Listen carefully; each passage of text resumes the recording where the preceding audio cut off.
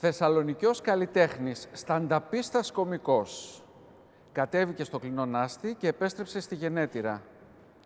Έχει κάνει πολλά. Θα τα ανακαλύψουμε ένα-ένα. Τον γνωρίζετε γιατί έχει κατακτήσει όλη τη χώρα, με τη δουλειά του φυσικά.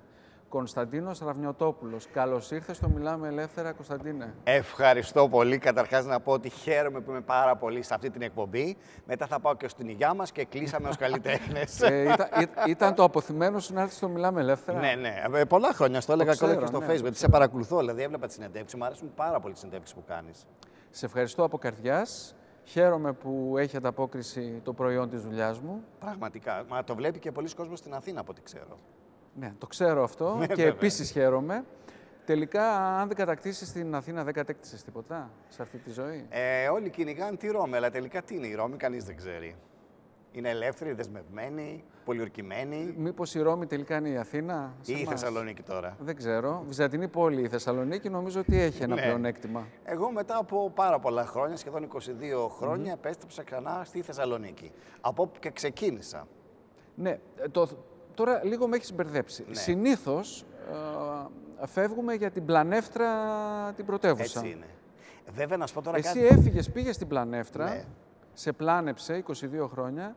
Έτσι. Και πώς προέκυψε και επέστρεψες Θα στη σου Γενέτειρα. πω δε ότι πριν φύγω για την Αθήνα, ήδη είχα προκαλέσει σκάνδαλο στη Θεσσαλονίκη.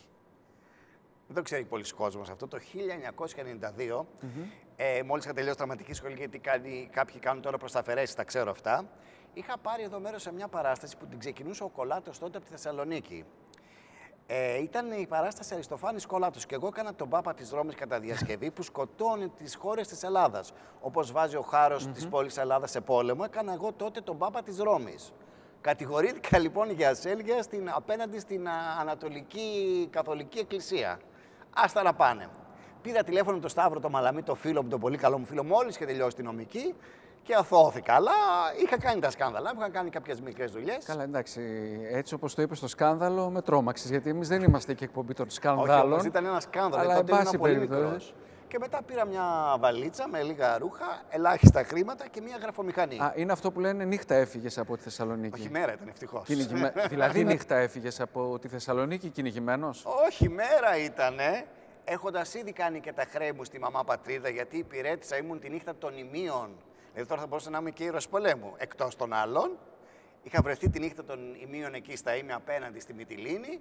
Ε, απολύθηκε, πέρασε καιρός. Είχα τακτοποιήσει και τη θεολογική σχολή την οποία αποφύτησα από εδώ και λέω: Γεια σας, ήρθε η ώρα μου να φύγω. Λοιπόν, άνοιξες τα φτερά σου και πήγες στην πρωτεύουσα. Με μια, όπως το βλέπεις στις ταινίες, με μια βαλίτσα, ελάχιστα χρήματα και μια γραφομηχανή. Ούτε καν μια συστατική επιστολή κάτι. ε. Τίποτα, μόνος μου τις έγραφα, ψέματα. Πάρτε αυτό, είναι εξαιρετικός ηθοποιός. Και άρχισες να χτυπάς τις πόρτες μία-μία; Ναι, έκανα στην αρχή. Πρώτα τις μεγάλες, μετά τις όχι, μεσαίες, όχι, στο τίποτα. τέλος τις μικρές; Α, κοίταξε, χτύπησα πολύ μεγάλη πόρτα, γιατί δούλεψα ως ταμείας στο πειραματικό θέατρο της Μαριέτας Ριάλτη, μόλις που το πήγα. Και ήμουν πολύ ευτυχισμένος, γιατί ενώ δεν δούλευα σε θέατρο, είχα τα κλειδιά ενός ολόκληρου θεάτρου. Εντάξει, συμβολικό μου. Ε, ακούγεται. Συμβολικό, ναι, αισιοδοξία πλήρης. Μετά έκανα ένα παιδικό και μετά με πήρε ο φίλος μου ο Στέφανος Νταλάση από τα Τρίκα, αλλά ξαναγύρισα για λίγο και έκανα τότε στο Δημοτικό των Τρικάλων ένα υπέροχο έργο, το Όνειρο Θερινής Νύχτας. Οπότε έβαλα στο ίδιο βιογραφικό που είχα ένα πολύ κλασικό ρόλο του παγκόσμιου ρεπερτορίου.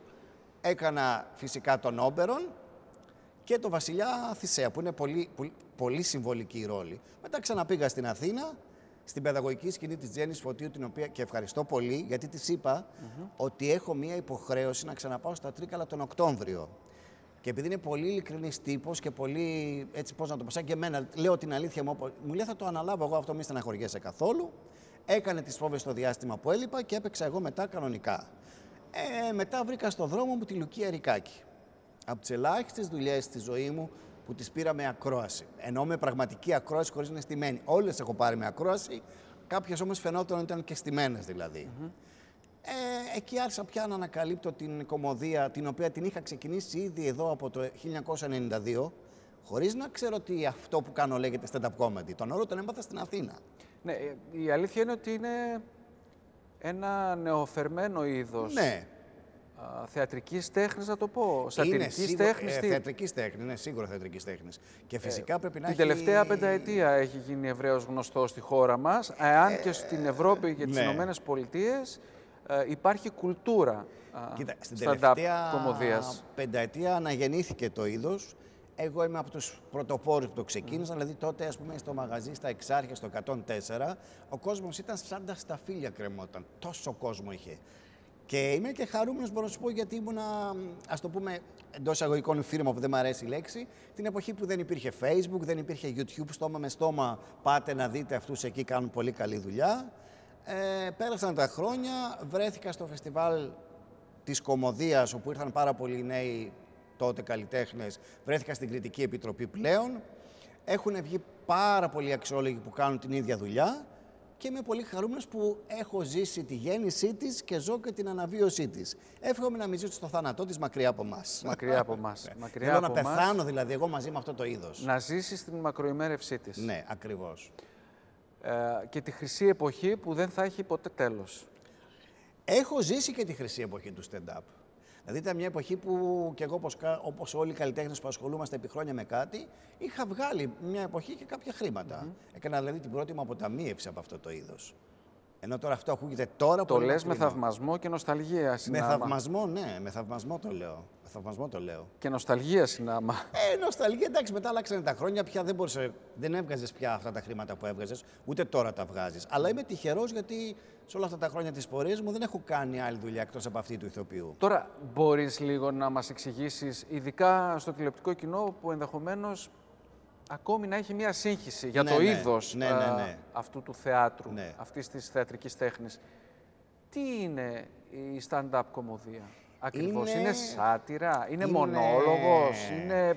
Είναι το πιο ελεύθερο και διαδραστικό είδος κομμωδίας που υπάρχει. Γελάς όταν βλέπεις μια πολύ καλή παράσταση stand-up comedy πολύ περισσότερες φορές από την καλύτερη κομμωδία. Φυσικά είναι ένας μονόλογος, αλλά πρέπει πάντα να είναι πάρα πολύ ζωντανός, ε, ε, ευέλικτος, γρήγορος, ταχύς. Ε, υπάρχουν και παραστάσεις που τις κάνουν 4 και 5 άτομα μαζί. Είναι ένα πάρα πολύ ζωντανό, το πιο ζωντανό είδος τέχνης αυτή τη στιγμή για μένα. Ο στανταπίστας κομικός πρέπει να είναι απαραίτητος ηθοποιός ή Όχι. μπορεί και να μην είναι ηθοποιός, Οι περισσότεροι αλλά δεν να είναι. υπηρετεί Ναι. με επιτυχία το είδος. Οι περισσότεροι δεν είναι. Τώρα, εγώ όταν το κάνω, φαίνεται κιόλας ότι είμαι και ηθοποιός. Δηλαδή, είναι μερικά κομμάτια που τα υποστηρίζω και λίγο υποκριτικά, χωρίς να γίνεται θεατρικό. Τώρα, όσο για τη σάτυρα που ρωτάς, η σάτυρα είναι ένα από τα όπλα της κομμωδίας. Δηλαδή, είναι ένα, όπ- δηλαδή, υπάρχει στην κομμωδία υπάρχει ο σαρκασμός, ο αυτος- ο αυτοσαρκασμός, υπάρχει η ηρωνία, υπάρχει η διακομώδηση, υπάρχει η σάτυρα. Όλα πρέπει να υπάρχουν. Σε μια παράσταση stand-up comedy, εγώ θεωρώ ότι πρέπει να υπάρχει και σάτυρα, γιατί αυτά που ζούμε θεωρώ χρέος μου να πω και γι' αυτά. Α, και τώρα να πω με την ευκαιρία ότι στην παράσταση που κάνω στο Αθήνεων έχω βάλει ένα, στο τέλος ένα μικρό κομμάτι για το μακεδονικό. Η παράσταση λέγεται «Ατόσο καλά», οπότε έχω βάλει και ένα κομματάκι για το νεοπή, γιατί κανείς δεν μπορεί να είναι... «Ατόσο καλά», «Ατόσο καλά», ναι. Ξέρεις ποιο είναι το μυστικό με το νεοπή; Για πες. Σου δίνουν το ραντεβού αμέσως. Το ραντεβού ποτέ είναι. Υπάρχει αυτή η τεράστια διαφορά. Και έχω βάλει και ένα κομμάτι για την ομοφοβία, για το σύγχρονο bullying. Έχω βάλει μέσα παλαιότερα θέματα, προλήψεις, παροιμίες που έχουμε σαν λαός. Έχω, έχω μπλέξει την τεχνολογία και όλο αυτό στο τέλος έρχεται με μια πρόταση. Έχει και μια πρόταση παράσταση. Ε, δεν θα μας την αποκαλύψει να Όχι υποθέσω. βέβαια, να έρθετε να τη δείτε. Χειρότεροι είναι αυτοί οι παίκτες που ενώ είναι στην ίδια ομάδα, ο καθένας βρίσκεται σε διαφορετικό μήκος κύματο. Η λέξη που πρέπει να περιγράψουν είναι ο γίγαντας, λέει η πρώτη. Ε, είναι πολύ ψηλός. Ο Φιδές. Του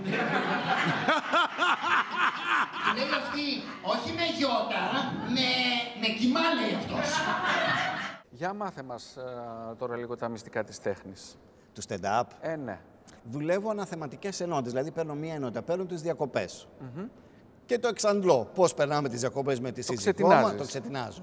Πώς περνάμε τις διακοπές με τη γυναίκα μας, που ξέρεις δεν μπορείς να περάσεις καλά. Απόδειξε το πορτοκάλογλου που έγραψε το εγώ και εσύ μόνη πάνω στη γη. Όταν σκέφτηκε τι είπε, πρόσθεσε Ο, ο, ο, μόνη στη γη. Μπαίνουν όλες αυτές τις λεπτομέρειες, πώς είναι το παλιό σπίτι στο χωριό για παράδειγμα, πώς είναι οι διακοπές με φίλους, πώς πάμε και δεν βρίσκουμε αυτό το γραφικό ταβερνάκι που πάντα υπάρχει στην άλλη άκρη του νησιού στο οποίο βρίσκεσαι εσύ. Το εξαντλώ το θέμα. Τα δουλεύω αναθεματικές ενότητες. Άρα πρέπει να υπάρχει μια κεντρική ιδέα. Ναι. Η κεντρική ιδέα στην παράσταση αυτή είναι ότι τελικά δεν είμαστε α, και τόσο καλά. Δεν από εκεί είμαστε, ξε- ε, λες. δεν είμαστε, όχι. Από, εκεί- από εκεί ξεκινάνε. Γιατί όλα. το λες αυτό, το εικάζεις ή είσαι σίγουρος; Κοίταξε, μάλλον επειδή βλέπω κόσμο στον δρόμο να παραμιλάει, να λέει τα δικά του, εκνευρισμός πολύ στα λεωφορεία. Τα λεωφορεία της Θεσσαλονίκης είναι πάρα πολύ ωραία. Να το πω και αυτό. Βεβαίως. Δηλαδή, βλέπεις. Φαντάζομαι εκφράζει την προσωπική σου άποψη Ναι, και ναι. εμπειρία από την καθημερινή σου μετακίνηση. Μα κοίταξε, είδα ένα Με τις συμμαθητή αστικές μου. συγκοινωνίες, ναι, έτσι. είδα ένα συμμαθητή μου στο λεωφορείο στο 10. Είχα να το δω 35 χρόνια. Του λέω, τι κάνεις ρε από τότε, μου λέει τίποτα. Λέει, μια φορά πήρα το 10, αυτό ήταν. Είναι Ε, προβληματική γραμμή το 10. Ε. Ναι, ναι, ναι. Και πολλές άλλες. Και εγώ σε κάθε θέμα βάζω και άλλα θέματα ενδιάμεσα που μοιάζουν ότι δεν έχουν σχέση, αλλά έχουν σχέση. Είναι ένας ωραίος τρόπος γραφής, γιατί η κομμωδία πρέπει να εξετάζει από πολλές πλευρές. Η κομμωδία είναι το αντίδοτο στην τρέλα και την παράνοια της κοινωνικής πραγματικότητας και καθημερινότητας που ζούμε εμείς οι Ναι. νεοέλληνες και όχι μόνο τώρα στα όχι χρόνια μόνο της είναι ο Έλληνας. κρίσης, Ναι, ναι. Όχι μόνο στα αλλά χρόνια και της πριν κρίσης. από την κρίση και ενδεχομένως και μετά από αυτή. Είναι αντίδοτο σε πολλά πράγματα. Δηλαδή, έχετε κάποιος βλέπει μια παράσταση και μου λένε πολλές φορές ότι είχα πολύ καιρό να γελάσω έτσι. Δηλαδή, όταν γελάς, υπάρχει μια ψυχική ανάταση. Δηλαδή, θέλοντας και μία ακόμη κίνηση που κάνει το σώμα για να βγει αυτός ο ήχο του γέλιου, από μόνο του το σώμα. Δηλαδή, δεν μπορεί να γελάει. από μόνο του το σώμα. Ξέρεις, ε, μιλώντας με πάρα πολλούς έτσι καλλιτέχνες και ηθοποιούς, ε, ε, έχω συνειδητοποιήσει, ε, μέσα από τα λεγόμενά τους εννοείται, ότι τα πιο δραματικά και τα πιο Ναι. τραγικά πράγματα α, μπορούν να εκφραστούν μέσα από την κομμωδία τελικά και μέσα από το γέλιο. Ισχύει αυτό; Θα σου μιλήσω από πολύ προσωπική εμπειρία. Και αυτός είναι ο λόγος που εγώ ήρθα στη Θεσσαλονίκη, γιατί έχασα τον πατέρα μου και έπρεπε να στηρίξω τη μητέρα που έχει μείνει πίσω. Και το κάνω με πολύ μεγάλη ευχαρίστηση και μέσα από την καρδιά μου. Υπάρχει κομμάτι στην παράσταση που αναφέρομαι σε αυτό το πράγμα. Ναι, ε. Υπάρχει ένα κομμάτι μ, για τα μνημόσυνα. Που είναι αληθινό κομμάτι. Είναι πολύ αληθινό κομμάτι, απλά το λέω με χιούμορ. Δηλαδή, υπάρχει φράση που λέω ότι παίρνω μια θεία μου και λέω Θεία, ο μπαμπάς έφυγε. Μου λέει Πού πήγε; «Ε, Στο Νότιο Πόλο. Μου λέει Τι κάνει εκεί, ξέρω εγώ. Πήγε να ψήσει πέρικες με τον ευτύχη πλέτσα. Δεν μπορείς να ξέρεις. Ε, λέω πώ είναι το γραφείο κηδιών. Ε, λέω πολλά πράγματα. Λέω για τις αρρώστιες. Τώρα θα μου πεις πώς γίνεται κάποιος να μιλάει για την αρρώστια και να είναι αυτό το πράγμα κομμωδία, ε; Α έρθουν να το δούνε. Ε, Εννοείται, δεν θα τα αποκαλύψουμε και όλα. Α, να πω και κάτι ακόμα, αν μου επιτρέπεις, Βεβαίως. ότι όταν πρώτο ήρθα στη Θεσσαλονίκη, φέτος δηλαδή, έχω έρθει το 18, στο θέατρο Σοφούλη έκανα μια πολύ ωραία παράσταση που αυτή πραγματικά με στιγμάτισε και σηματοδότησε την επιστροφή μου στη Θεσσαλονίκη, τον άνθρωπο Σκύλο, στο θέατρο Σοφούλη, ε, που πραγματικά πήρα εξαιρετικές κριτικές, γιατί ήταν αυτό ένα έργο πανανθρώπινο, το οποίο δεν νομίζω ότι έχω τελειώσει μέσα μου μαζί του. Πολύ Α, δραματικό έχεις έργο. ανοιχτούς λογαριασμούς Ναι, ναι, δηλαδή ναι. με το συγκεκριμένο έργο. Κοίτα, ναι. Φαντάζεσαι ότι θα το ξαναπέξεις Θέλω πάρα πολύ να το ξαναπαίξω. Θέλω πολύ γιατί είναι ένα έργο στο εγγύς μέλλον ή... Ε, ναι, μπορεί. Δεν ξέρω. Έχω, δεν έχω ξεμπλέξει μαζί του γιατί έχει τόσα πολλά μηνύματα. Είναι έργο πανανθρώπινο, μιλάει για την εξουσία, για την τέχνη, για την ιδιαιτερότητα, για τις οικογενειακές σχέσεις, για την πολιτική και δεν είναι κομμωδία. Κομμωδία γίνεται στο δεύτερο μέρος, όπου εγώ στην ουσία έχω μετασαρκωθεί ή μεταψυχωθεί σε ένα σκύλο. Μάλιστα. Ναι. είναι αυτό που λένε ο ηθοποιός πρέπει να... Να είναι σκυλής στη δουλειά του. να είναι σκυλής στη δουλειά του και να, να ζει τον κάθε ρόλο. Την ημέρα που εξαφανίστηκε φορούσε μαύρη μαντήλα, μαύρη μπλούζα, μαύρη φούστα, μαύρο καλτσόν και μαύρες παντόφλες. Ε, τι μου λες, εξαφανίστηκε. Βγήκε μια βόλτα στο σκοτάδι γριά, απορροφήθηκε. Εξαφανίστηκε η κυρία Μαρία. Την ημέρα που εξαφανίστηκε φορούσε μαντήλα. Μόνο.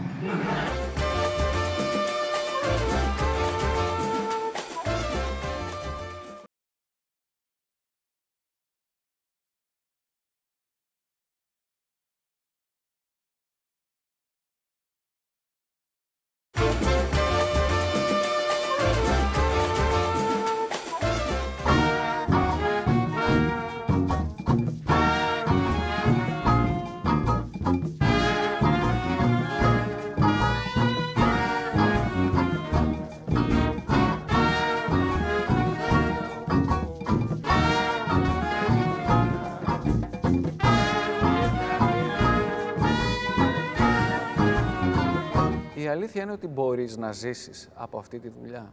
Μπορεί ένας Έλληνας ηθοποιός πλέον να Εξάρ- ζήσει από αυτή τη δουλειά. Εξαρτάται Και που μόνο. έχει φτάσει. Υπάρχουν ηθοποιοί που. Ε, τώρα εντάξει, είσαι και ένας ηθοποιός της νέας γενιάς. Νέας γενιάς, λέω. Ε, δεν είμαι πολύ της νέας γενιάς. Της ώριμης γενιάς, ναι, οκ. αλλά είσαι στην α, νεανική ωριμότητα. Δεν είσαι ακόμη. Κάπως, ναι. στα Ευχαριστώ τελευταία πολύ. Να της σε καλά. στάδια. Να σε καλά, Θέλω να Χάρη. πω δηλαδή ότι και εσύ βιώνεις στο πετσί σου. Ε, σίγουρα. Ακόμη.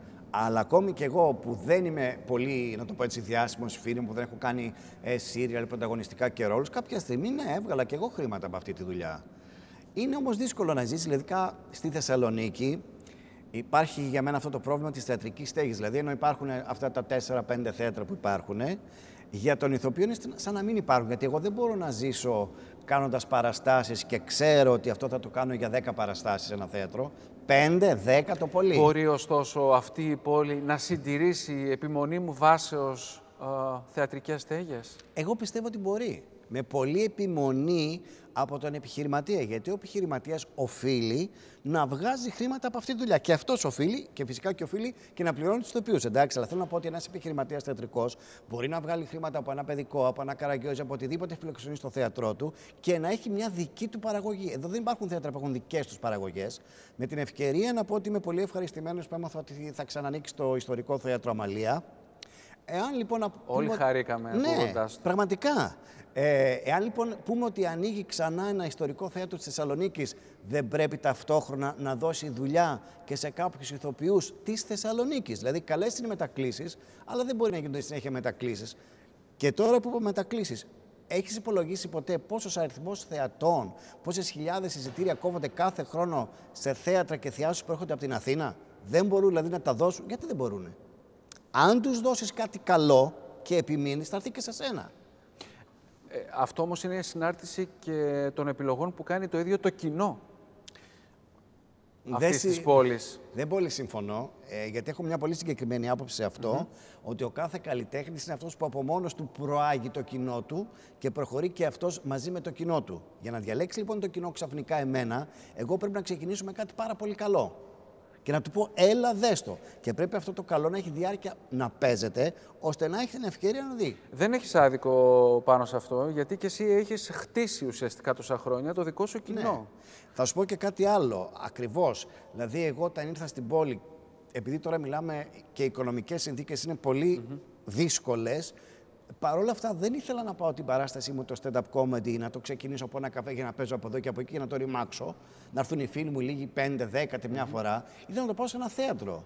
Δηλαδή έκανα υπομονή για να το στηρίξω και να το χτίσω, έστω αυτές τις λίγες παραστάσεις που θα κάνω. Χρεια- Θέλει επιμονή το πράγμα. Δεν γίνεται από τη μια μέρα στην άλλη. Αλλά τόσα χρόνια θα πρέπει να έχει γίνει. Δηλαδή, εγώ λείπω 35 χρόνια από την πόλη και βλέπω μια κατάσταση που τώρα έρχονται, επειδή υπάρχει και κρίση, έρχονται ακόμη περισσότεροι θείες από την Αθήνα.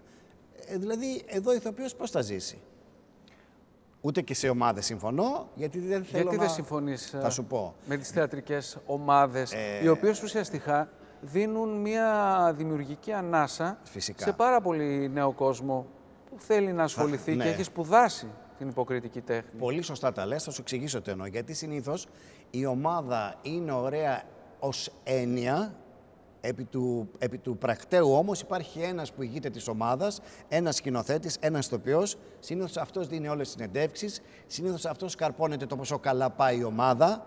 Ε, υπάρχουν και παραδείγματα και στην Αθήνα που κάποιος σκηνοθέτης έκτισε θέατρο, ηθοποιοί χτίζανε το θέατρο, τα μπετά δηλαδή κανονικά το χτίζανε και όταν αυτός έκανε επιτυχία, οι ηθοποιοί δεν υπήρχαν πουθενά. Και επίσης καλές είναι οι ομάδες, αλλά δεν μπορώ να παίζω και να, να κάνω και ένα μισή μήνα πρόβα και να παίζω να παίρνω 5 ευρώ βγαίνοντα από το θέατρο. Γιατί κάνω ένα θεατράκι πολύ μικρό, άρα εγώ από μόνος μου περιορίζω το κοινό μου και του λέω μέχρι 30 άτομα, 50 άτομα είμαστε εντάξει και δεν γεμίζουν και τα 50.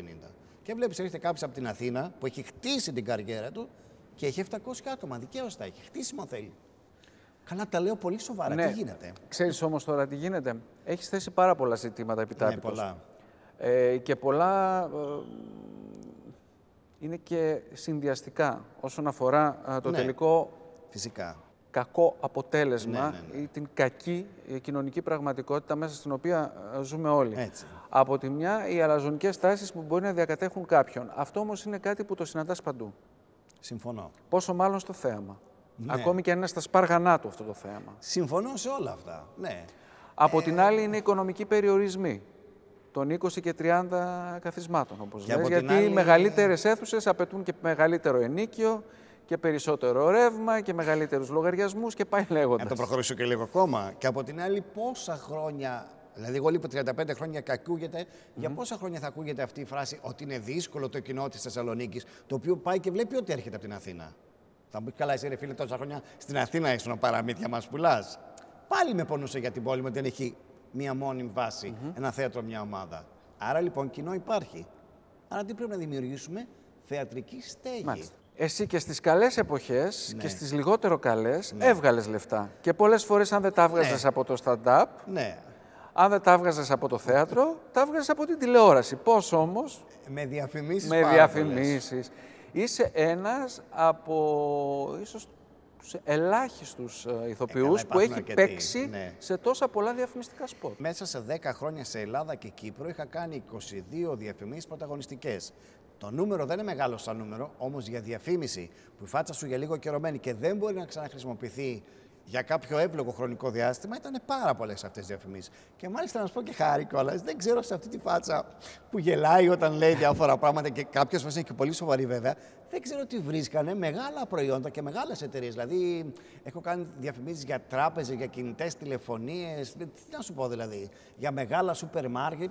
Πολύ μεγάλα προϊόντα. Τώρα τι βρίσκαν σε μένα δεν ξέρω. Επίσης, Το φυσικ του δούλευα- νεοέλληνα. Ναι, δούλευα... Ενδεχομένως, έτσι. δούλευα πάντα, έκανα παράλληλα stand-up comedy και θέατρο και διαφημισεις Ε, έχω κάνει και εκδηλώσεις πολλές, έχω παρουσιάσει, πράγμα το οποίο είναι δύσκολο κάποιος να το κατέχει. Τώρα πώς εγώ το κατέχω δεν ξέρω. Ε, το κατέω μωρέ. Το κατέεις. Ναι. Λοιπόν, ε, δεν α, δραστηριοποιήθηκες μόνο στην πρωτεύουσα; Δραστηριοποιήθηκες και σε μια άλλη πρωτεύουσα. Ποια για τη πες. Μεσσηνιακή. Τώρα, τι- ένας Θεσσαλονικιός, τι σχέση έχει με το καρναβάλι της Καλαμάτας, μπορείς να μου πεις; Κοίταξε να δεις, στην Καλαμάτα έχω κάνει πιο πολλές παραστάσεις stand-up comedy, θα σου πω για το καρναβάλι, από τη Α, ε, Θεσσαλονίκη. α, έτσι και από τη ξεκίνησε. Θεσσαλονίκη, ναι.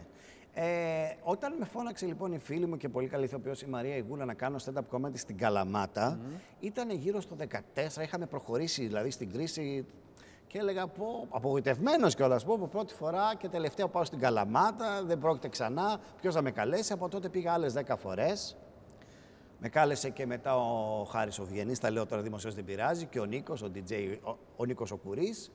Και όμως χωρίς να έχω κάνει τίποτα εγώ, εκτός από αυτά, δεν με είχαν δει από εκεί. Κάποια στιγμή, κάποια μέρα, χτυπάει το τηλέφωνο μέσα από το Δήμο της Καλαμάτας και μου λένε, ξέρετε, θέλουμε να παρουσιάσετε το καρναβάλι της, Κα- της Καλαμάτας. Ε, Χάρη, ήταν πολύ τιμητικό. Ήταν πολύ τιμητικό. Γιατί δεν έκανα κάτι εγώ. Ψάξανε, οι άνθρωποι βρήκανε, γιατί έχω κάνει και στο παρελθόν και άλλες εκδηλώσεις. Και αυτά ξέρεις είναι από τα πράγματα που δεν τα πολύ λέω, δεν τα βγάζω πολύ προς τα έξω. Κακός βέβαια. Έχω κάνει πολλά πράγματα. Έχω κάνει μέχρι και πειραματικό θέατρο. Και underground θέατρο. Έχω παίξει στα πρώτα έργα του Κατσικονούρη πρωτού παιχτούν στο, στο εθνικό.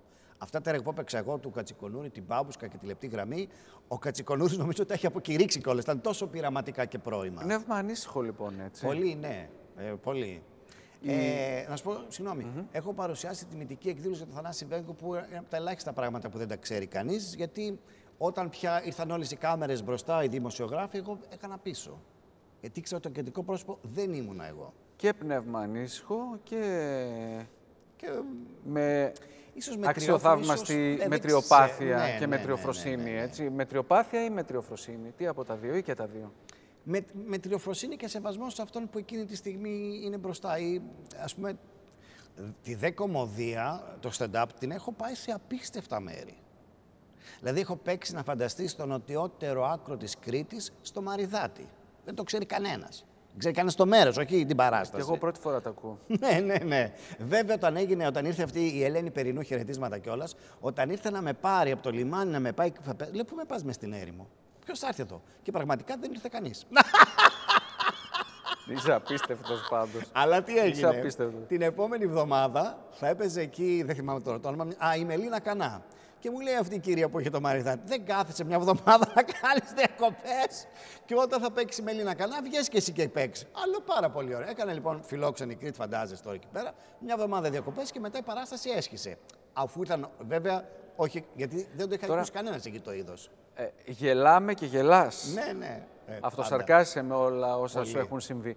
Αλλά ε, θα ήθελα έτσι λίγο να μας περιγράψει το συνέστημα ενός ηθοποιού, ενός Ναι. καλλιτέχνη, που κυριολεκτικά δεν πατάει ψυχή Ναι. στη δουλειά Κοίταξε, του. αυτό συνέβη γιατί σου λέω το είναι, μέρος- είναι, είναι πολύ τραυματική εμπειρία. Πολύ. Κα, Το κακά τα μέρος ψέματα, αυτό έτσι. Ήταν απομακρυσμένο πολύ και δεν. Δεν έχει δηλαδή, σημασία. Ναι. Ε, ναι. Ε, δόξα τω Θεώ, εκτός από αυτή την περίπτωση την τραγική σου λέω, γιατί δεν ξέραν καν το είδος. Πού να έρθουν οι άνθρωποι. Δεν μου έχει τύχει, δόξα τω Θεώ, ειδικά όταν κάνω stand-up comedy, να παίξω. Άντε να έχει τύχει από τις 1500 παραστάσεις που θα έχω φτάσει, να μου έχει τύχει 5-6 φορές αυτό. Ωστόσο τρέμει το φιλοκάρδι σας. Χαρή. Αισθάνεστε έτσι περίεργα; πριν από κάθε παράσταση, αν με ρωτήσεις τι θέλεις να κάνεις, Κωνσταντίνα, θα σου πω θέλω να σκοτώ να φύγω. Εγώ δηλαδή τόσο πολύ τρακιάχο έχω πριν από την κάθε παράσταση. Δεν μπορώ, θέλω να φύγω. Σε πιστεύω απόλυτα, γιατί κάθε φορά που προετοιμάζομαι για την εκπομπή, Ναι. αισθάνομαι ακριβώς το ίδιο. Θέλω να σκοτώ να φύγω.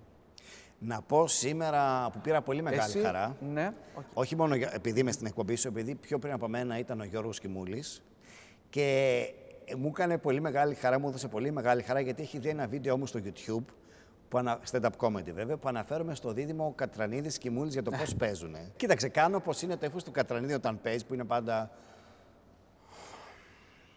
Και τον Κιμούλη που είναι πάντα... ε, Για τους άντρες που δεν έχουν καταλάβει ποιος είναι ο Δάνης Κατρανίδης, είναι ο ηθοποιός που παίζει πάντοτε με αυτό το ύφος.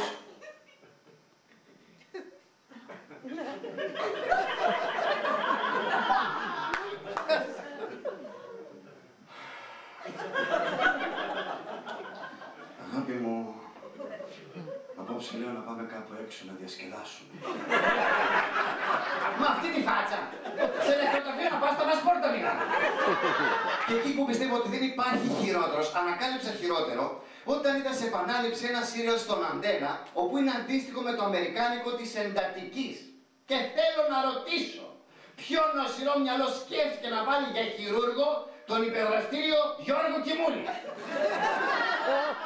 Φέρνουν ένα σε 24 κομμάτια από αυτοκινητιστικό. Και λέει ο Κιμούλης γεμάτος ανησυχία. Η δουλειά αυτή. Καλά, μην κοιτάς τώρα που λένε έχει πίκρες, έχει τόσες πολλές χαρές. Δεν μου λες, ε, ε, συμμετείχες όμως και σε μια συντακτική ομάδα για 8 ολόκληρα χρόνια.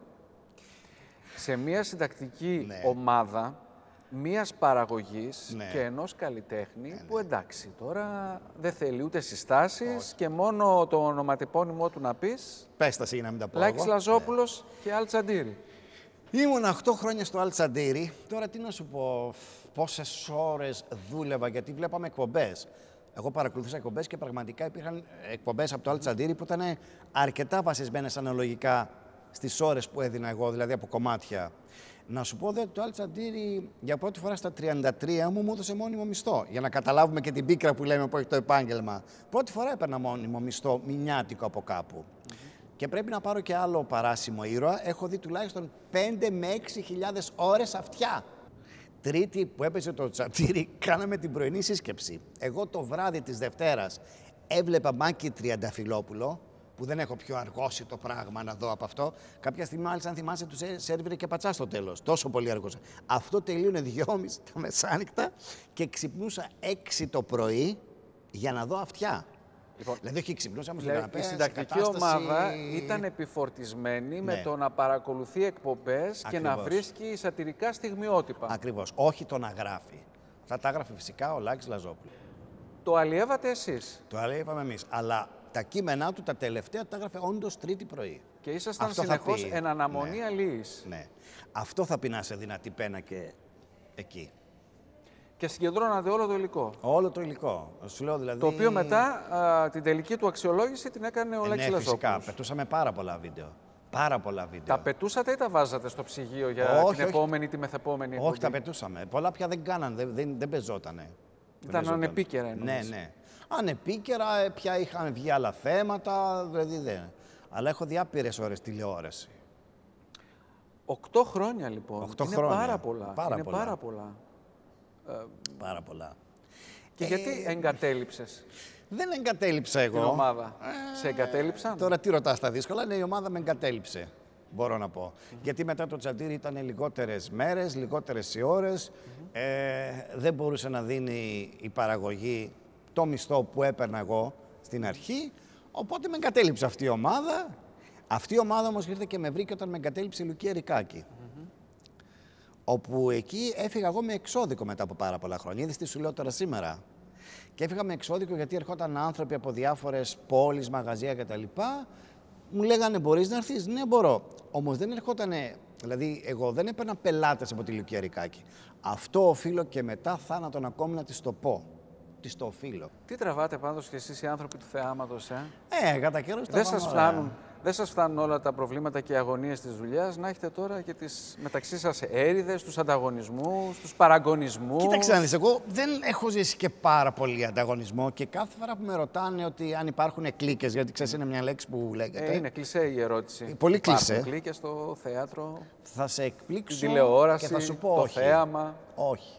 Και ξέρεις γιατί λέω όχι, γιατί αν εγώ με σένα είμαστε φίλοι, έτσι, και κάνω μια δουλειά και θέλω κάποιον που έχει τα δικά σου χαρίσματα, θα πάρω σένα που είσαι και φίλος μου. Κατάλαβες; Μπορεί κι άλλος να έχει τα άλλα χαρίσματα, τα ίδια με σένα, θα προτιμήσω να που είναι φίλος μου. Άρα αφήνουμε την κλίκα και πάμε στην παρέα. Ναι, υπάρχουν πολλές ωραίες παρέες. Ε, α, να πω τώρα που λέω παρέες, έχω ζήσει και παρέες πολύ καλές και πολύ φιλοσοφημένες σε αυτά τα περίφημα δείπνα που έκανε η Ροζίτα Σόκου. Έχω παρευρεθεί και εκεί. Στο σπίτι της. Στο σπίτι, ναι, ναι, ναι, στο σπίτι.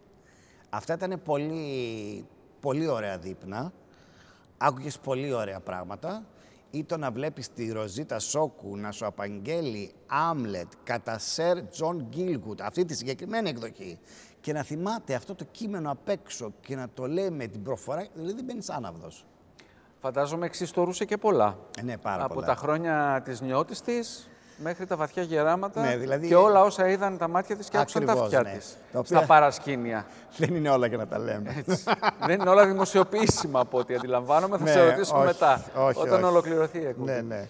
Ήταν μια πολύ σημαντική εμπειρία για σένα, φαντάζομαι. Πάρα έτσι. πολύ, πάρα πολύ. Εκεί πήγε- Ίσως σε προσγείωσε λίγο και στην πραγματικότητα. Όχι, ή δεν με προσγειάζει, γιατί εγώ είμαι, πετάω, μ' αρέσει να ακούω ιστορίες. Είστε λίγο Εκεί- εθεροβάμονες εσείς οι καλλιτέχνες. Πολλές φορές δεν τα παίρνετε όλα της μετρητής. Αυ- Τα παίρνετε λίγο αψήφιστα και μετά όταν έχετε Ναι. να αντιμετωπίσετε την πραγματικότητα, Κοίταξε όμως, αυτός είναι ο λόγος που έχω ακόμα μαύρα μαλλιά και με μισούν οι φίλοι μου βέβαια. Γιατί στη ζωή μου μέχρι τώρα δεν έχω ζήσει ποτέ αφεντικό, κανονικό αφεντικό με οκτάωρο, κατάλαβες. Και στο Αλτσαντήρι πάλι πίστευα ότι πρόσφερα στην κομμωδία, πίστευα ότι και πολύ με την καρδιά μου ότι προσφέρω σε αυτόν τον άνθρωπο που λέγεται Λάκης Λαζόπουλος. μόνο γι' αυτό σε μισούν δηλαδή, για τίποτα άλλο οι φίλοι σου ή οι γνωστοί σου. Κοίταξε να δεις τώρα, αν ανοίξουμε το κομμάτι φίλων, μπορεί να βάλω και τα κλάματα ξαφνικά. Έχω, δόξα τω Θεώ, έχω πάρα πολλούς φίλους. Στη Θεσσαλονίκη τώρα που ήρθα, με βρήκανε φίλοι μου που είχαν να τους δω και 30 και 35 χρόνια. Ε, φανταστείς τώρα, έχω φίλο μου τον Λουκά, τον οποίο τον ξέρω από τότε που πηγαίναμε πρώτη δημοτικού μαζί. Ε, τον Αλέξη, τον Σταύρο, που τους έχω φίλους από το Λύκειο. Έχω, Και- ξέρω εγώ, φίλο και τον τώρα Αντώνη τελευταία- στοιχείο. Δηλαδή, έχω και απομακρυσμένους. ε, Και τώρα στην Μυτιλίνη τελευταία το στοιχείο. κυκλοφορεί στα κοινωνικά δίκτυα και ένα μήνυμα προτροπής σε Ναι, όλους. Ναι. τους χρήστες του διαδικτύου. Ναι, ναι. Ε, μην ξεχάσεις ποτέ τον άνθρωπο που μοιράστηκε στο ίδιο θρανείο. Τέλειο είναι αυτό. Αν δεν το έχω δει, είναι τέλειο. Είναι τέλειο. Είδα ένα άλλο μήνυμα όμως σε ένα λεωφορείο που έλεγε «Χρησιμοποιώ το λεωφορείο, βοηθάω τον πλανήτη να αναπνεύσει». Αυτό τώρα Δεν πώς το πιστεύω κρίνεις. κανείς ότι παίρνει το λεωφορείο και λέει ευτυχώς Πανασένη γη Παναγία μου δόξα τω Θεώ και αν συνεχίσω το κάνω θα αναπνεύσει και ο χρόνος. Αυτό το βάζω την παρένθεση γιατί πραγματικά συγκινήθηκα για τους φίλους σου. Λέω και έχω και πολλούς φίλους σε διάφορα μέρη της Ελλάδος. Στην Καλαμάτα εννοείται φυσικά. Έχω το φίλο μου τον Βαγγέλη τον Ποτέ που τον λατρεύω, ένας άνθρωπος με δημοσιογράφος, μην το γνωρίσεις. Εχθρούς δεν έχεις, μόνο φίλους έχεις; Δεν νομίζω. Άνθρωποι μοχθηροί που Όχι, επιχείρησαν, αποπειράθηκαν ε, Ε, κοίταξε, Να είναι σου τόσο... δημιουργήσουν προβλήματα. Δεν, μπορεί κανείς, δεν νομίζω ότι μπορεί κανείς να μην δημιουργήσει πρόβλημα. Γιατί είμαι τόσο να ανοιχτός. ορθώσουν εμπόδια μπροστά σου. Τώρα, μπροστά μου τα εμπόδια από πίσω μου αυτή δεν ξέρω. Μπορεί. Κάποια στιγμή το είχα αναρωτηθεί, αλλά δεν, εγώ προσωπικά δεν το γνωρίζω. Αλλά θα το, πε- θα το πετούσα αυτό το κομμάτι. Θα με απασχολούσε. Επίσης να πω ότι μ, έχω κάνει και εγώ τα λάθη μου στην πορεία μου, εννοείται. Αυτό το ρήμα κάνω με έχει εκθέσει άπειρες φορές. Να μαγειρεύω και να γράφω σωστά τους. Κλάνω και φτέδες. Κλάνω μακαρόνια με κοιμά. Κλάνω μελιτζάνες στο φούρνο με πατάτες. Σχόλιο θαυμαστή καταπληκτικό. Να βάλεις και μέντες να κλάνεις πιο εύκολα.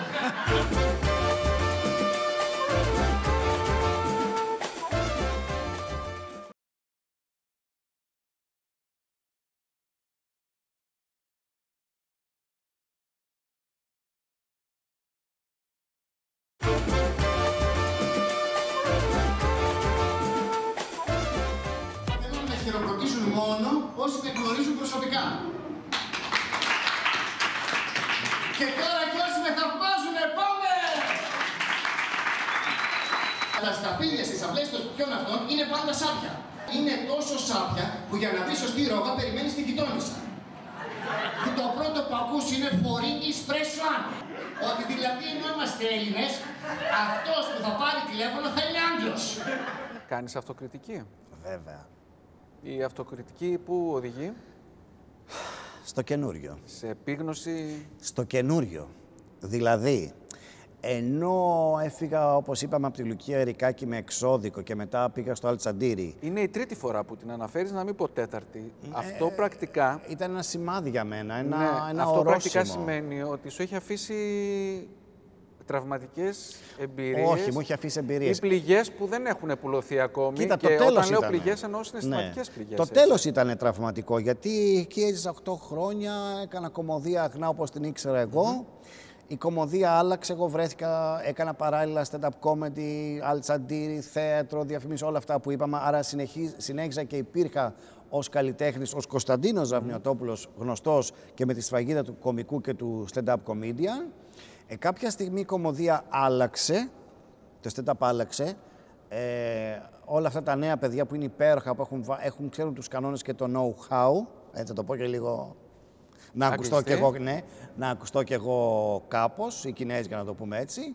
Ε, βοηθήθηκα μετά από μια μεγάλη συζήτηση από τον Δημήτρη Χριστοφορίδη, θα το πω, ναι, γιατί πρέπει να το πω και αυτό δημόσια.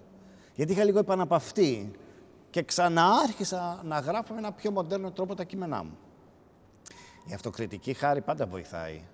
Ε, και η αυτογνωσία. Αυτοκριτική αυτογνωσία και η αποτίμηση μόνιμη, καθημερινή, συχνή. Δεν ξέρω ποιος θα κάνει την αποτίμηση. Κάνεις αποτιμήσεις; Κοίταξε, εγώ από την πορεία μου μέχρι τώρα είμαι πολύ ικανοποιημένος. Δηλαδή, θα ήθελα να ήμουν έστω πρώτο ή έστω δεύτερο όνομα σε ένα σύριαλ, σε αρκετά σύριαλ φαντάζομαι τον εαυτό μου να παίζει. Δεν έφτασα εκεί που ήθελα να φτάσω ενδεχομένως. Αλλά θεωρώ τον εαυτό μου και λίγο τυχερό αυτός που σου είπα ότι δεν έχω κανένα αφεντικό τόσα χρόνια, ότι δεν έχω στεναχωρηθεί ιδιαίτερα, δεν κάνω καμιά δουλειά που είναι οχτάωρη, με ροκάματο, μιζέρια, ξέρω εγώ. Έχω ζήσει βέβαια και με κάποια χρήματα, έχω ζήσει και χωρίς καθόλου χρήματα. Τώρα, γιατί επέλεξες να κάνεις αυτή τη δουλειά; Γιατί είμαι Ε, άχρηστος και- να κάνω οποιαδήποτε άλλη; Είσαι άχρηστος να κάνεις οποιαδήποτε άλλη. Ναι, ε, ναι, τώρα, σε ναι. αυτή την ηλικία, Όχι από πάντα, από πάντα. Ε, μη μου πεις, και και σε πολλούς του οποίους φαντάζομαι συμβαίνει αυτό, μη μου πεις πήγαινε στην εφορία ή φέρε χαρτιά. Με πιάνει κρύος υδρότα. Μη μου πεις συνταρμολόγησε πράγμα. Πες μου, κάνε μια παράσταση. Α, είσαι μόνο του αστείου και του μπλα μπλα δηλαδή. Ναι. Και... Παίξε, κάνε μια παράσταση μια μισή ώρας, δύο ώρων. Που κάνω άνετα. Αυτό δηλαδή είναι ο καλλιτέχνης. Κοίταξε. Ασχολείται με την καλλιτεχνία για να γεμίσει τα κενά. Υπάρχουν πολλοί καλλιτέχνες που κάνουν και πολλά άλλα πράγματα μαζί. Εγώ νομίζω ότι ίσως ήμουν. Δεν ξέρω πώς ακουστεί αυτό υπερβολικό ή όχι. ίσως ήμουν γεννημένος για την κομμωδία και το stand-up comedy. Δηλαδή, από μικρό θυμάμαι να κάνω τέτοια πράγματα. Ξέρεις, Έστεινες θεατρικές παραστάσεις. θα σου πω, επειδή είχα ανακατευτεί και λίγο με τα κόμματα και με τα διάφορα τέτοια, νομίζω πρέπει να ήμουν 17 χρονών που πλησίαζαν τότε εκλογές όταν εγγενίασα, ενώ σατυρικά το εγγενίασα, το Λευκό Πύργο. Θα μας τρελάνεις απόψε. Ναι, έκανα τον εγγένει, ένα σκέτσι τον εγγένει τον Κορδελάκια με ειδική εξέδρα στημένη από την ΚΝΕ που εκεί κατέληγε μια πορεία πολλών ανθρώπων, χιλιάδες άνθρωποι από κάτω και εγώ χωρίς κείμενο να εξηγώ τους λόγους για τους οποίους εγγενίασα το Λευκό Πύργο. Ε, ε, εντάξει, αυτό είναι πολύ σουρεάλ τώρα που σου λέω. Ε, ναι, είναι. Ναι και εμένα, το- πώς το έκανα, δεν ξέρω. Είχα την άγνοια. Τι εσωτερική ανάγκη κάλυπτες μέσα σου από όλη αυτή τη διαδικασία; Σου έχω πει πόσο πολύ μου αρέσει η εκπομπή σου. Ναι, μου το έχεις πει. Α, το ξαναλέω. Σε Το ευχαριστώ ξαναλέω. πολύ. Κάνεις ερωτήσεις, ρε παιδί μου, που ούτε εγώ την έχω σκεφτεί. Δεν ξέρω αν ήταν α- ανάγκη, ήταν μια όθηση. Δηλαδή και τώρα, όταν κάνω παραστάσεις, αυτές που πάνε πολύ ξεχωριστά και πολύ σούπερ, ε, νιώθω μέσα μου τρομερή ενέργεια. Μετά δεν μπορώ να κοιμηθώ. Όπως τώρα, εδώ και κανένα δύο εβδομάδες, δεν μπορώ να κοιμηθώ και θέλω να ξαναπέξω στο Αθήνεων. Το ατόσο καλά. Δεν- Αισθάνεσαι πετροβολημένος, ότι έχεις μια πετριά, έτσι; Όχι. Α, πετριά έχω πολλές. τώρα είπα και εσύ. Πετρίε. Αλλά όχι πετροβολημένος. Πυροβολημένος μπορεί. Πετροβολημένος. ναι, ναι. Ε, κοίτα, και πάντα είμαι ένα. Είπα να το πιο, πιο, ξέρεις, Ναι. να το πω πιο light. Πιστεύω ότι είμαι ένα μικρό ζεζάνι με περιτά κιλά τώρα. Ναι. Τι κάνεις για αυτά λοιπόν, Ω, τίποτα. τα αφήνεις να υπάρχουν; Εμένα είσαι με τα εφίστανται; καλά σου. Σου δημιου- Δεν σου δημιουργούν ζήτημα; Όχι βέβαια. Μονάχα στον αυτοσαρκασμό. Ε, ναι. Έχεις και κάτι να αυτοσαρκάσεις. Κοίταξε, ε, πάντα υπάρχει το σαρκασμός. Είναι πολύ εύκολο για μένα. Από οτιδήποτε μου πεις να βγάλω την κομική πλευρά, ξέρεις τι σημαίνει δίαιτα; Ξέρω. Τι σημαίνει; Ράβουμε το στόμα. Όχι, δίαιτα υπάρχει το αρχαίο ελληνικό διαιτόμε, Α, μάλιστα, που είναι ο στο τρόπος πας αλλού. ζωής. Η δικιά μου η δίαιτα λοιπόν είναι ο τρόπος ζωής. Να το, το πρωί φρέσκο βουτυράκι που με ετοιμάζει η μανούλα μου τώρα με μελάκι από πάνω, ωραίο μεσημεριανό φαγητό. Το βράδυ κανένα τόσο, κανένα τέτοιο. Ε, ενδιάμεσα κάτι άλλο. Αυτή είναι η δίαιτά μου. Οπότε είμαι εντάξει με τη δίαιτά μου, δηλαδή με τον τρόπο ζωής μου. Μάλιστα. Ε, είπες νωρίτερα ότι εξ ανάγκης Ναι. Ε, επέστρεψε στη γενέτειρα. Ναι, ναι, ναι. Λόγω της μαμάς. Ε, λόγω της απώλειας του πατέρα. Ήταν Ναι. κάτι που το δούλευα μέσα μου αρκετά χρόνια, γιατί ήταν ταλαιπωρημένος. Μήπως, μήπως όμως και αυτό ήταν λίγο βολικό για σένα; Θέλω να πω, θα μπορούσες να έπαιρνες τη μαμά στην Αθήνα; Όταν είσαι Μήπως στην όμως ηλικία- ήθελες λίγο να Όχι, όχι. ξεκουραστείς; Όταν είσαι στην ηλικία της μαμάς, δεν μπορείς να πας στην αθηνα Δεν ξέρω αν ξεκουράστηκα. Ξέρω ότι δεν μου λείπει και τόσο πολύ η Αθήνα. Βέβαια, θα ήθελα. Δηλαδή, έχω πει και στη μητέρα ότι αν ε, παρουσιαστούν γυρίσματα σε μια κομική σειρά, ειδικά με φωνάξει κάποιος, θα πάω για τα γυρίσματα. Δεν μπορώ να, είμαι, να κάνω θέατρο για να με μείνεις εκεί πέρα. Ε, Αλλά δεν μου λείπει πάρα πολύ η Αθήνα. Έχω κάνει κα- εδώ κάποια πράγματα. Ε, Βλέπω τους φίλους μου, περνάω ωραία με τη μητέρα μου. Είσαι πάντα έξω καρδιά όπως τώρα; Ή έχεις και τις α, σκοτεινές πλευρές; Κοίτα, είπα και τα σοβαρά μου. Τις σκοτεινές πλευρές Σκοτεινές της ψυχοσύνθεσής σου πλευρές. και της ιδιοσυγκρασίας σου. Ε, έχεις και εσύ τους δαιμονές σου, κλείνεσαι στον εαυτό σου πολλές φορές, δεν θες να μιλήσει σε κανέναν. Ε, Μερικές φορές τυχαίνει αυτό. Σε όλους τους ανθρώπους τυχαίνει. Σε Σε όλους τους ρωτώ ανθρώπους. γιατί συνήθως, από ό,τι γνωρίζουμε, οι κομικοί Ναι. είναι οι πιο τραγικές φιγούρες Θα σου πω, η στην απόδειξη, προσωπική του ζωή. η απόδειξη είναι η πολύ απλή. Βάλε σε μία πολύ δύσκολη δραματική σκηνή σε ένα επεισόδιο να παίξει ένας κωμικός. Θα στο κάνει διαμάντι. Το αντίθετο δεν μπορεί να συμβεί. Δεν μπορεί δραματικός ο να παίξει την καλύτερη κομμωδία. Μην υπεκφεύγεις όμως, Όχι, δεν είπε αυτό. επί προσωπικού. Ε, ρε παιδί μου, εντάξει, έχω τις στιγμές που, πε- που περνάω δύσκολα, αλλά τι, τι να κάνω. Κρατάει πολύ αυτό; Όχι. Καλά, το δικό μου το νοσηρό μυαλό σκέφτεται πάρα πολλά σε διάφορες στιγμές. Οι καλύτερες στιγμές μου που εγώ γελάω πάρα πολύ είναι όταν κάνω πρόβα στο ασανσέρ της πολυκατοικίας. και, και αποκτάς την έμπνευση. Όχι, ανοί- Εγκλωβισμένος. Ανοίγει η πόρτα και βλέπουν έναν άνθρωπο να παραμιλάει και λίγο κομπλάρουν. Εγώ είμαι συνηθισμένος να το κάνω αυτό. Είχαμε μια γειτόνισσα κάποτε που έλεγε, πω, πω, λέει, στο- είπε στον άντρα της μια φορά, αυτό το παιδί όσο σοβαρό μετρημένο είναι έξω, όταν είναι σπίτι. Τρελαίνεται, έκανε ένα ρόλο από τις εσωτερικές ειδήσεις, το κάτι γίνεται και τσακ. Όπου αυτός γελάει πάρα πολλές φορές στη διάρκεια που εξιστορεί τρει-τέσσερι ιστορίες. Και φτάω και νόμιζα ότι εγώ είχα τρελαθεί. Α πούμε, θεωρώ ότι είμαι πολύ ελεύθερος, παιδί μου, και στον δρόμο κάνω πρόβα, έχει τύχει. Για τον άνθρωπο σκύλο δε, έχω κάνει πρόβα και σε στάση έξω. Γιατί έπρεπε να το λέω, ήταν μιλάμε ένας μονόλογος μία ώρα και 40. Μονόλογος. Οπότε έπρεπε να το κάνω, να το μάθω πολύ καλά. Θα σταυροκοπιέται πολλοί κόσμος όταν θα Ναι, βλέπει ναι. αυτό το Ναι, θέαμα, ναι, ναι. έτσι. Ή σφυρίζω στον δρόμο, δεν το θεωρώ ρε παιδί μου ότι. Είναι ωραίο να σφυρίζει. Σε κοιτάνε παράξενα, γιατί ζούμε σε εποχή που οι άλλοι έχουν τόσα προβλήματα και τους φαίνεται παράξενο το υγιές το να σφυρίζει κάποιος και να είναι χαρούμενος. Εντάξει, τώρα θα μου πεις, μπορεί και να μην σταυροκοπηθεί κάποιος αν σε δει να μιλάς στον δρόμο περπατώντας, γιατί Τώρα- θα υποθέσει ότι μιλάς στο hands free. Ναι, ναι, ναι. Έτσι, Α, ναι. γιατί είναι πλέον και σημεία των καιρών Ενώ αυτά. εγώ μιλάω στο χάρις free. στο μιλάμε ελεύθερα. Πολύ χαίρομαι γι' αυτό. Και ήρθες και σε μια εκπομπή που, όπως είπες, την α, παρακολουθούσες και τη θαύμαζες. Πραγματικά. Πραγματικά. Και χαίρομαι γι' αυτό. Μιλάς ελεύθερα λοιπόν, έτσι. Μιλάω δεν πάντα α, πολύ... αυτοπεριορίζεσαι Ω, δεν γενικότερα αυτό- στη ζωή Κοίταξε σου. να δεις, είμαι και εγώ καιρός. Αυτό, είναι και το... Αυτό δεν είναι και το αντίβαρο που είπες προηγουμένως. Αν κάποιος με ρωτήσει την άποψή μου, τη λέω πάρα πολύ ελεύθερα προς δικό του κακό. δηλαδή, είχα Να πάει προσέχουμε τι κάποτε- ρωτάμε, δηλαδή. Όχι, είχα πάει κάποτε στο διάβασμα ενός θεατρικού έργου.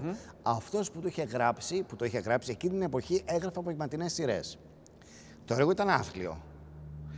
Και λέει, ας ρωτήσουμε και ξεκινάνε από μένα. Λέω, θέλετε να ξεκινήσω εγώ. Ο πρώτος μου λένε ναι.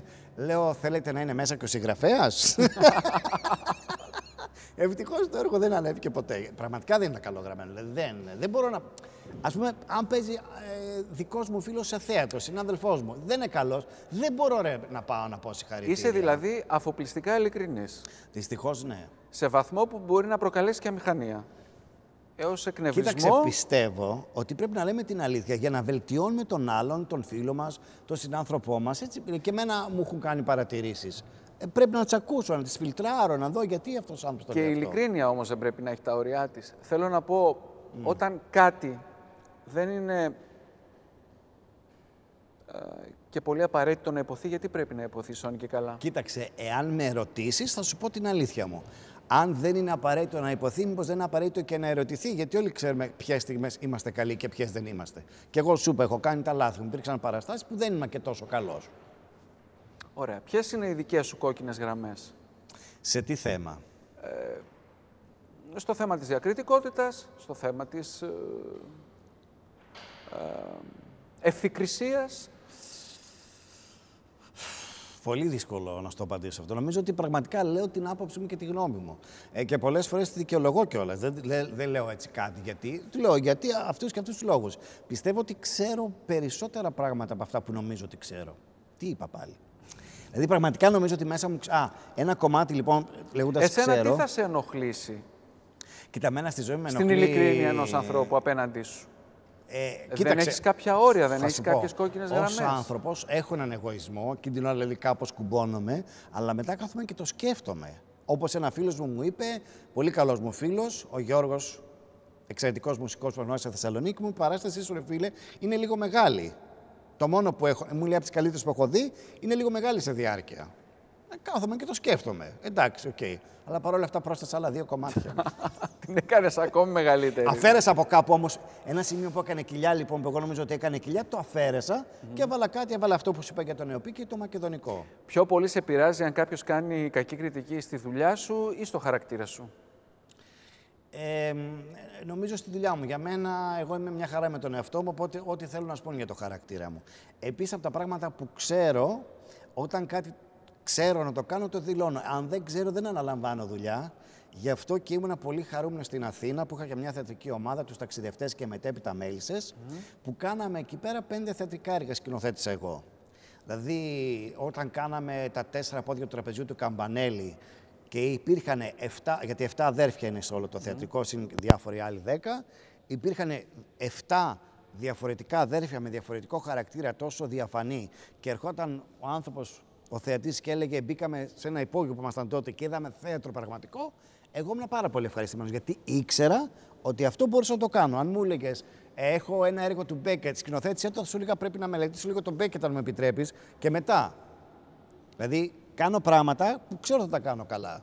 Αφού είναι στημένες, γιατί τις στείλουν; και ξοδεύουν και το χρόνο τους. Για... Κοίταξε, έχω πάει σε ακρόαση που όταν δίναμε ακρόαση, ήμασταν ξέρω 50-80 άτομα όπως ήμασταν, ήρθαν κάποιες κάμερες να πάρουν το γεγονός, όχι την ακρόαση, αλλά το ότι γίνεται ακρόαση στο συγκεκριμένο θέατρο. Α, για διαφημιστικούς καθαρά ε, λόγους. Φυσικά ναι, φυσικά ναι. Τρέχουν τα νέα τα παιδιά, πάνε... Δεν υπάρχει άλλη συνήθως. Δηλαδή και στο εθνικό μπορεί να γίνεται ακρόαση, αλλά είμαστε εθνικό και ξέρουμε ήδη ποιος θα πάρουμε. Μα συγγνώμη, οι ακροάσεις δεν γίνονται για να ανακαλυφθούν τα νέα ταλέντα ή οι άξιοι. Ξέρω ένα λαμπρό παράδειγμα ανθρώπου που γνώρισα του Χάρη του Ρώμα, που έκανε πραγματική ακρόαση και πήρε στο Δελιγιάννιο Παρθεναγωγείο τους ηθοποιούς τις νέες κοπέλες που πήρε, όπως στο Κωνσταντίνου και Ελένης. Πήρε νομίζω τότε τη Λεκάκη, αν δεν κάνω λάθος. Και μετά το Χάρη Ρώμα το χάος. Όχι, δεν υπάρχει το χάος. Θέλω να πω ότι ξέρω. δηλαδή, ας πούμε, όταν είχα εγώ στην Τζέννη Φωτίου, έκανε πραγματική ακρόαση γιατί ήταν ειλικρινής χαρακτήρας. Αλλά συνήθως οι ακροάσεις. Δηλαδή, όλα γίνονται προσχηματικά. Ε, τα περισσότερα, δεν το ξέρεις. Εγώ θα σου το πω και αυτό. Ε, δεν ξέρω. Εγώ την άποψή σου θέλω να ακούσω. Ε, ναι, βέβαια γίνονται στημένε ακροάσεις. Αυτό είναι γνωστό. Ε, μόνο ακροάσεις γίνονται στημένε στο θέαμα; Ε, καμιά φορά υπάρχουν. Στημένοι και... καυγάδες γίνονται; Ου, στημένοι καυγάδες, στημένε κυβερνήσεις, στημένε παρεξηγήσεις. Ε; Ναι, ναι, ναι, ναι. ναι. Ε; Ευτυχώς εμείς οι Έλληνες δεν μαλώνουμε, απλά ανταλλάσσουμε ερωτήσεις. Έχεις πρόβλημα, νομίζεις ότι έχω, σε μένα μιλάς. Εσύ σε ποιον λες; Λοιπόν, και έτσι πάει ο καυγάς μας. Αν και εγώ σε σένα μιλάω, δεν έχω κανένα απολύτως πρόβλημα. Ακριβώς το αντίθετο. Χάρηκα πάρα πολύ που τα είπαμε απόψε. Και εγώ χάρηκα. Να πω, να πω, θέλω κι άλλα να πω χάρη, θέλω να τα πω όλα. Να κάνουμε και δεύτερο επεισόδιο; Ναι. Λοιπόν, θα Όχι, γίνει... θέλω να πω διακαώσω, θέλω να κάνω μια σατυρική εκπομπή είτε στην τηλεόραση είτε στο ραδιόφωνο. Αυτό θέλω πάρα πολύ να το κάνω. Πολύ το θέλω Ωραία. αυτό. Σου το εύχομαι από καρδιάς λοιπόν. Μας ακούτε εδώ, Κωνσταντίνος Ραβνιωτόπουλο. Έτσι. Κωνσταντίνος Ραβνιωτόπουλο. ο στανταπίστας και όχι μόνο άξιο παιδί, άξιο τέκνο αυτής της πόλης που έχει κατακτήσει όλη τη χώρα. Ε, όχι και όλη τη χώρα. Εντάξει, ρε. Ε, εντάξει. εντάξει. Το κλείσιμο δικό σου δεν ξέρω να μιλάω. Να σε καλά, καλέ μου φίλε. Χάρηκα πολύ που τα είπαμε και εδώ είμαστε να τα ξαναλέμε και να σε παρακολουθούμε. Α, τόσο καλά.